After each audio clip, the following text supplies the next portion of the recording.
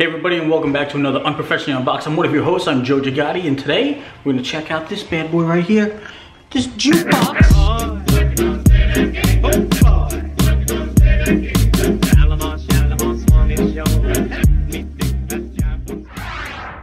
This is the Art and Sound LED Lights Wireless Jukebox.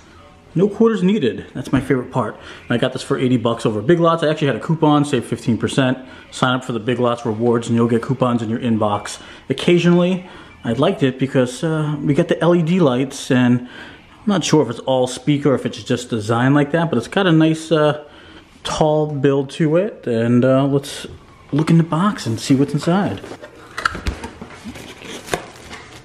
On the top here, we have cables. Okay. This is the wall plug. It's not a charger because this isn't battery operated. This is operated by plug only. Underneath the top foam, we have the actual jukebox. Now that we took off that condom and the foam, here's the speaker here. Nothing else in the box. You got some weaved fabric there. Uh, the cardboard or the, well, it's not really wood. Is that a scratch? No, that's just some glue there. But this wood is kind of just like particle board. It's really light. Uh, it's not very heavy duty, so you kind of got to be careful with it. Make sure it doesn't drop. Make sure the kids don't uh, bang it up against the wall. I don't know. Don't Just don't be the Fonz and try to beat it and try to get the music going that way. And if we look at the back of the unit, it's got some kind of compartment here. I guess this is for the plug. So if you don't want to keep it plugged in the whole time, you just want to store it, it goes there. Um, we have the audio inputs there. We have an auxiliary 2 port, an on and off switch. And what is this for? Is this to hook up additional speakers. I guess we can daisy chain additional speakers this way. And we got a little holder down there. What's that down there? No, it's just a hole. All right, let's plug it in and uh, see how it sounds. This on-off button over here feels a little chintzy. It's lit up and made a little, little crackle noise. I don't know if I should worry about that yet. I'll put on a, a song and uh, I'll see how it is. A remote so we can be away from the unit, change the volume, skip songs if we need to.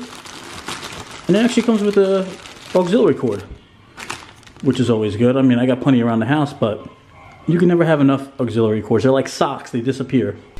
So it wasn't working at first. A little upset, I thought I got a dud, but then I figured out you actually need the remote. So do not lose this remote, if we can get it in focus.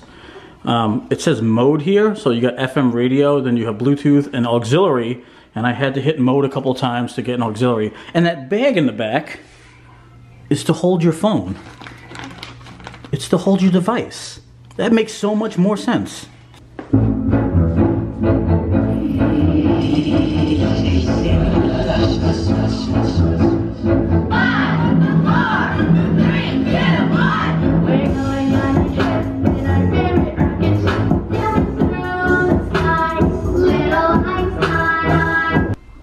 Let's try it without the lights.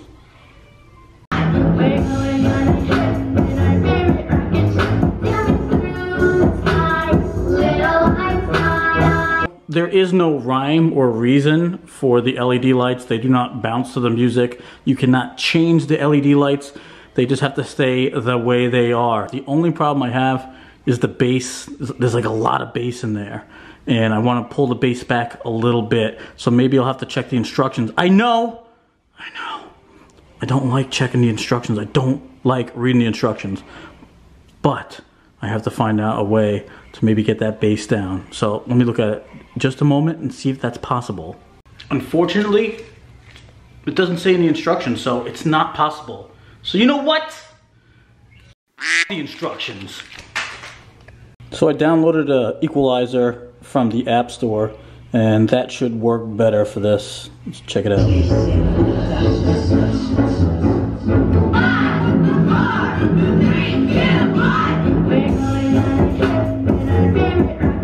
All right, real quick update. Uh, yeah, I'm listening to it some more.